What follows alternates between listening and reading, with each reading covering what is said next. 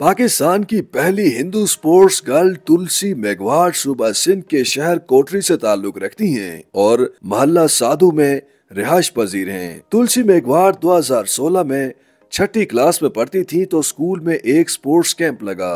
तुलसी को भी इस कैंप में हिस्सा लेने का शौक हुआ और खुशकिस्मती से वो मुंतखब भी हो गई उस वक्त उन्हें इल्म नहीं था कि बेसबॉल और सॉफ्ट बॉल भी कोई गेम होती है और ये कैसे खेली जाती है फिर उन्हें पता चला कि ये अमेरिका का कौमी खेल है और आलमी सतह पर खेला जाता है।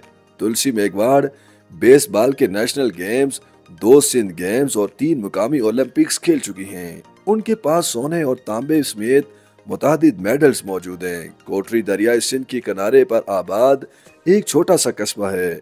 यहाँ लड़कियों के लिए कोई ग्राउंड नहीं है। वो मुकामी ग्राउंड में ही खेलती हैं, जहाँ लड़के भी खेल रहे होते हैं। तुलसी घर में भी प्रैक्टिस करती हैं और यूट्यूब से भी मदद हासिल करती हैं। तुलसी मेघवार के वालिद एक सहाफी हैं। वो बताते हैं कि जब उन्होंने बेटियों को पढ़ाना शुरू किया तो उनकी बरादरी के लोगों ने कहा कि लड़कियाँ काबू में नहीं रहेंगी, लेकिन उन्होंने किसी की परवाह नहीं की। तुलसी मेघवाड़ और दो बड़ी बहनें घर में सिलाई कढ़ाई का काम भी करती हैं, जिन्हें ऑनलाइन ही फरोख्त किया जाता है।